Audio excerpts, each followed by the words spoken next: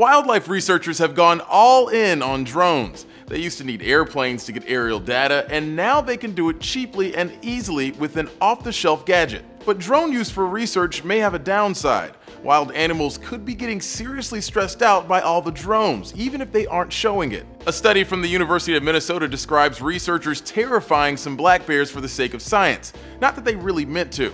They flew a small quadcopter over four wild bears that had been equipped with heart rate monitors and GPS trackers. The drones never got closer than about 46 yards from the bears, so not exactly getting in their faces. The bears panicked anyway, Despite the fact that the copter didn't get very close and the bears didn't act frightened, the heart rate monitors recorded huge jumps in each bear's pulse every time the copter came near. That's interesting because an earlier study showed wild birds didn't react to a drone until it was around 10 or 15 feet away. Even flamingos, which are known to be skittish, Without heart rate data to go by, those researchers concluded birds just don't mind drones very much. The bear study's lead author says he would have thought the same thing if the bears hadn't been wearing monitors. The study definitely gives some food for thought, but it's not likely to stem the tide of research drones. Even if they stress out the animals, scientists are likely to conclude that the benefits still outweigh the risks. For instance, without the use of remote-controlled helicopters to, let's be blunt here, catch whale snot,